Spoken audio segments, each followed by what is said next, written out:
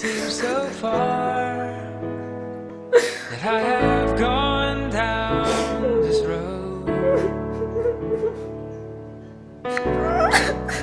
Only to find